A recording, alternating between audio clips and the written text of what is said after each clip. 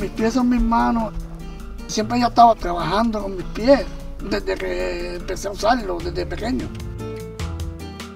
Yo soy Ángel Marrero, este, soy de Puerto Rico, yo soy mecánico, mi familia, todos bregan mecánica. Yo tenía en Puerto Rico, los míos se llamaban Angel Mechanic Shop. Primero que estuve le puse el facilito. A toda la gente yo digo que esto es fácil. Puedo cambiar de bujía, puedo cambiar la goma, casi todo.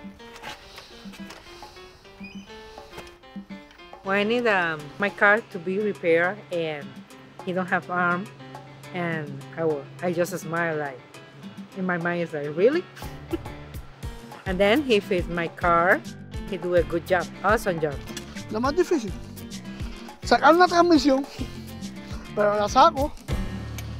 Yo no pienso en el dolor. Me gusta hacerlo. Los cajos son lo de esto para mí.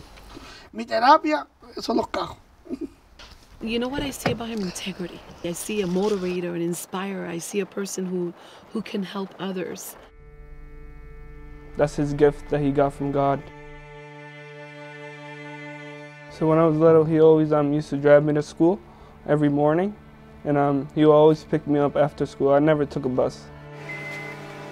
más para atrás, más para el frente. Viví con mi hijo Ángel en Puerto Rico como hasta él tuvo como nueve años. Ese es el único que yo tengo. Todo. Growing up with a father that was disabled, um, there were some challenges that I had to step in, like taking, giving him a shower, sometimes giving him food. People misjudge him because he's not the same as us with two arms, and I just feel like that's not fair. You know, sometimes I just feel very sad that he's um, being depressed.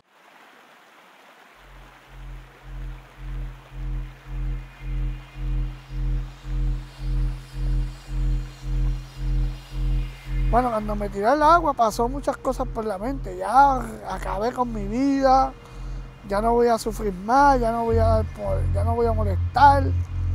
Ya, quería acabar. Llegó alguien y me rescató. En el momento no estuve contento. Ya estoy un poco mejor, tengo un sitio donde estar ahora a vivir. Y voy a tener más oportunidad. Poder trabajar, ayudar a las otras personas que no tienen nada, que dicen que no pueden. Y yo digo, yo puedo, porque no puedo, ustedes pueden también hacerlo.